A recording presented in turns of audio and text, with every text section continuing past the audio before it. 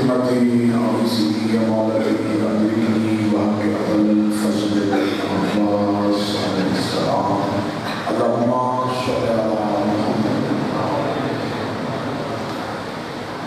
بسم الله الرحمن الرحيم الحمد لله رب العالمين اللهم إياك وإياك نستعين الصلاة والسلام والتحية والإكرام على سيد أسلم في الوجود صاحب قاعدة الوجود وصاحب المقام المحمود صاحب الوقار والسكينة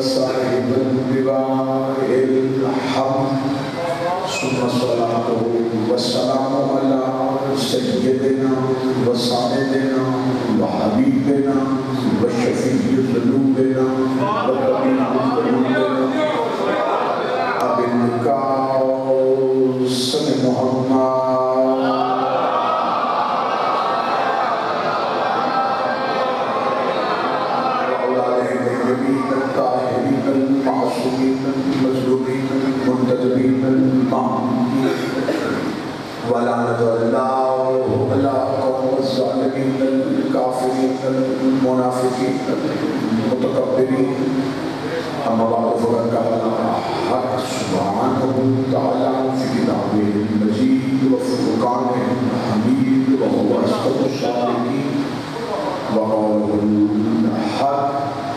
بسم الله الرحمن الرحيم. ذكر فإن الذكر تنفع المؤمنين ولم الصلاة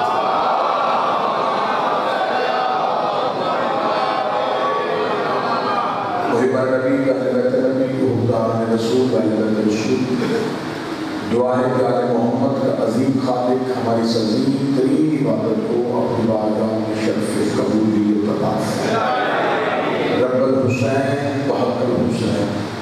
جتنے بھی حافظ حسین نے مانگنے کے لیے اس عزت والے ذکر سے کوئی بھی خالی اطلاع علمانیان مجلس حاضرین مجلس ذاکرین مجلس کے رزق کے معرفت میں اور رزق کے ولایت منافع بہت بڑی قوم کے اور دل سے آمین کہنا میرا اللہ اس وقت کسی علی ولی اللہ پڑھنے والے کو موت نہ آئے جب تک قبر حسین کی زیارت نصیب نہ ہو۔ میرے اللہ بانیان کے دل میں مرحومی جی، حاضرین کے دل میں مرحومی شہدائے ملت نافریان یا وہ مومنین کے لیے پیچھے اب دعا کرنے والا کوئی زندہ نہیں رہا. میرے مالک ہم آپ سے ملتمس قیامت والے دن وہ تمام مرحومین اٹھیں ایک ہاتھ میں قرآن ہو دوسرے ہاتھ میں کام کے اہل بیٹھ ہمیں حجت کا انتظار نصیب فرمائیے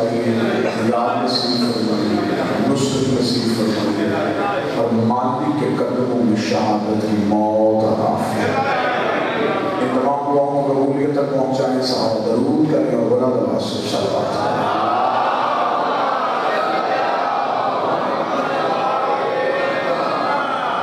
اجازت ہے کہ شکریہ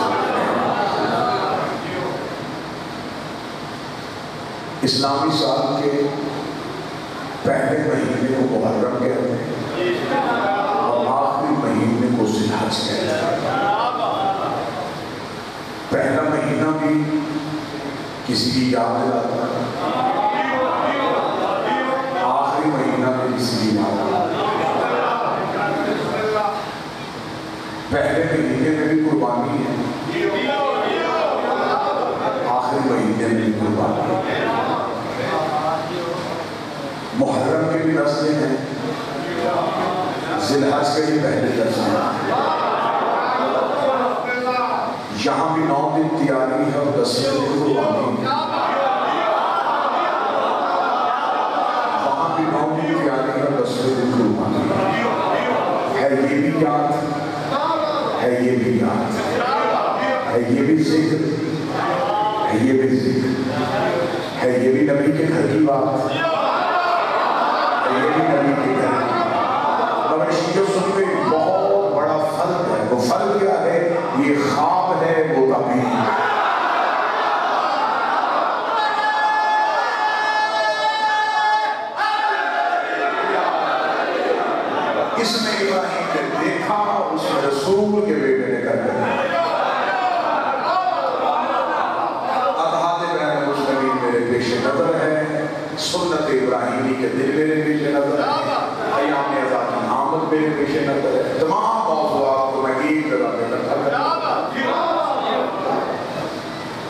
ذلحج کا مہینہ ہوگا چاند طلوع ہوگا، سارے مسلمان اپنے بچوں کو بتائیں گے، بیٹا، یہ جو مہینہ ہے، یہ مہینہ عام مہینہ نہیں اس مہینے میں ایک نبی تھا، نام کا حضرت ابراہیم تھا۔ انہوں نے خواب دیکھا تھا۔ پھر انہوں نے اللہ کو خوش کرنے کے لیے، اللہ کو راضی کرنے کے لیے، اس خواب کو زندہ رکھنے کے لیے اپنے بیٹے کی گردن پہ چھری رکھی اور خدا نے اسماعیل کو بچا دیا تھا اس کی جگہ پہ ایک جانور کو بھیج دیا تھا وہ جانور سوا ہو گیا بیٹا، اب اس جانور کی یاد میں ہم ایک جانور اپنے گھر لے کے آئیں گے۔ یہ جانور اس جانور کی شبیہ ہے۔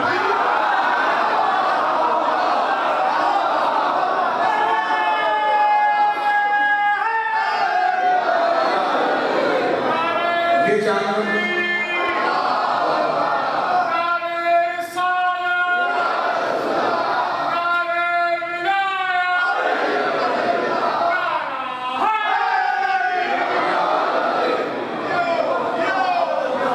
لیکن یہ جانور اس جانور کی شبیہ ہے یہ باقی جانوروں جیسا نہیں۔ اسے چھڑی نہیں مارنا اس کو نقصان نہیں پہنچا۔ اسے اذیت نہیں دے شیعہ سنی مسلمان میرے سامنے بیٹھے ہو پہلی دفعہ اس جگہ پہ میری آ رہی ہے۔ بات میری بہتر لگے تو مجھے بول کے تاریخ فرما دیجیے گا۔ یکم سے لے کے دس سے لائے تک تمام شیعہ سنی مسلمان مل کے حضرت ابراہیم اور حضرت ابراہیم کے بیٹے حضرت اسماعیل کی یاد مناتے ہیں نہ کہیں پہ کوئی جھگڑا ہوتا ہے، نہ کہیں پہ کوئی لڑائی ہوتی ہے۔ سے اجازت لینی پڑتی ہے نہ امن کمیٹیاں بنانی پڑتی ہیں نہ ملک میں فوج بنانی پڑتی ہے نہ حکومت کو پہرے دینے پڑتے ہیں ہے یہ بھی یاد ہے وہ بھی یاد یہاں کس یاد میں کوئی جھگڑا نہیں ہوا اس یاد نے ہمیں اکیلا چھوڑ دیا سب پہ قرآن رکھ کے بتاؤ کہ قیامت والے دن ہم نے جواب ابراہیم کو دینا ہے یا محمد کو دینا ہے جواب حضرت ابراہیم کو دینا ہے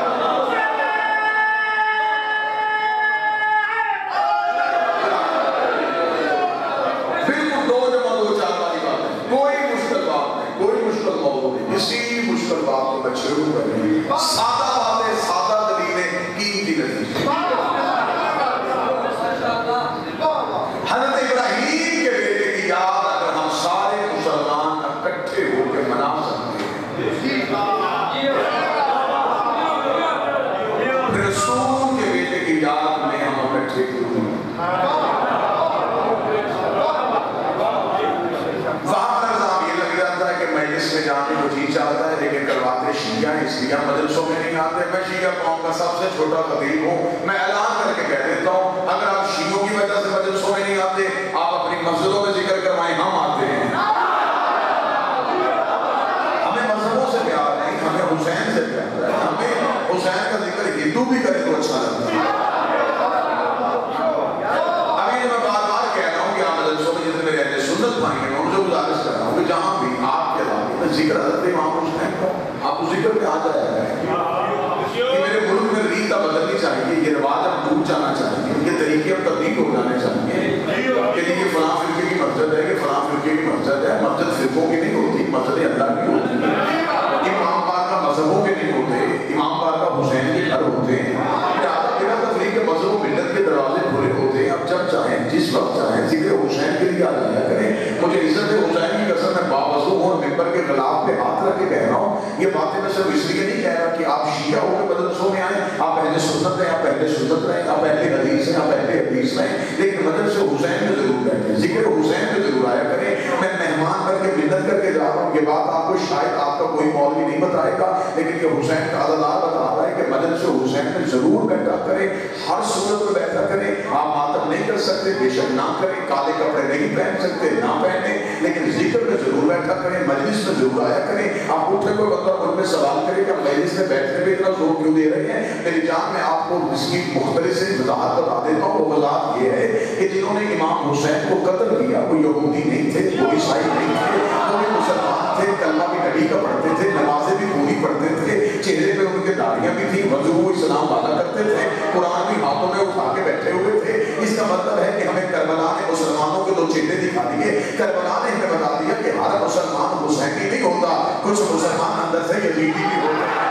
ہر مسلمان حسین والا نہیں ہوتا۔ کچھ مسلمانوں کے اندر یزید بھی ہوتا ہے۔ تو پھر آج کیسے پتا چلے کہ وہ حسین والے کون ہیں اور یزید والے کون ہیں؟ اب آپ اس سے دلیل مانگے قرآن ممبر میں لے آؤ۔ میں قرآن سے دلیل دینے کے لیے تیار ہوں۔ ایک اللہ کا نبی تھا، نام اس کا ابراہیم تھا۔ جب حضرت ابراہیم کو آگ میں پھینکا جا رہا تھا تو قرآن کہتا ہے کہ چھوٹا سا پرندہ اپنے منہ میں پانی کا قطرہ لے کے اس آ کے اوپر جا رہا تھا۔ باقی پرندوں نے رستہ روک کے پوچھا، کہاں جا رہا ہے؟ اس نے کہا، وہ جو سامنے آگ لگی ہے، اس نے اسے بجھانے جا رہا ہو پرندوں نے دیکھا تجھے اپنی وسیعت بھول گئی پکار بھول گیا۔ تجھے نہیں پتا وہ میلوں میں لگی ہوئی آگ ہے۔ سالوں کی اکٹھی کی ہوئی جنگل کی لکڑی ہے۔ تیرے کمرے سے آگ گزری نہیں۔ اس کا پتا مجھے بھی ہے، یہ آگ نے بجھے گی اور اگر جا کے کرے گا کیا؟ اس نے کہا، کم از کم اس قطرے کو آگ میں پھینک کے اللہ